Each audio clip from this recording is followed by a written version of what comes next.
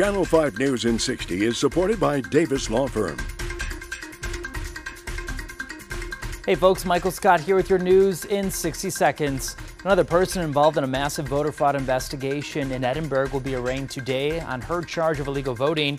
Guadalupe Sanchez Garza is accused of changing her address to Edinburg and voting when she did not live there.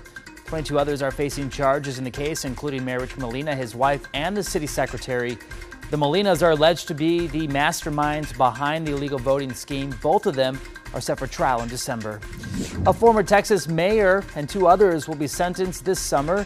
A federal jury found Rodney Mesquias, Henry McInnis, the former Rio Bravo mayor, and Francisco Pena guilty in a $150 million money laundering and healthcare fraud scheme. The scheme involved false and fraudulent claims for hospice and other healthcare services from 2009 to 2018.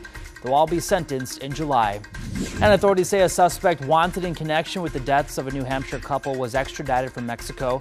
Adam Williams was arrested by Mexican authorities. He's wanted in connection to the investigation into two bodies found buried on Padre Island near Corpus Christi.